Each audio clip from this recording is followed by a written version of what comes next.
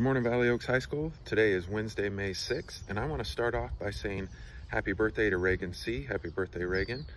Um, so many of you are probably starting to wonder why I continue to make these videos day after day. And one of the reasons is, that it, it's part of my routine, and I spoke to you guys about that before, the importance of having a routine. So part of my routine is to is to get up and create these videos, and it starts my day off in a pretty positive way for me. The other reason is, is I hope to give you guys a little bit of information about what's going on, hopefully to encourage you and to maybe make you laugh along the way. So that's why I continue to do these. Some days are better than others, obviously, but um, I'm gonna keep doing these while we're in this situation. Um, I also wanted to talk to you guys uh, about the rest of the year. So a couple things that are going on. Uh, for the seniors, we're having a virtual awards night uh, seniors, we also have not yet made a uh, decision on graduation, but that is happening very soon, and you'll have a definitive answer coming soon.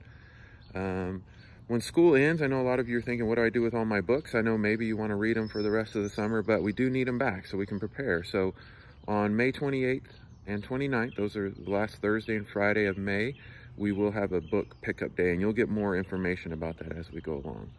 All right, you guys, I want to leave you with one thought uh, since it is Teacher Appreciation Week. And that thought is that teaching is the only profession that creates all other professions.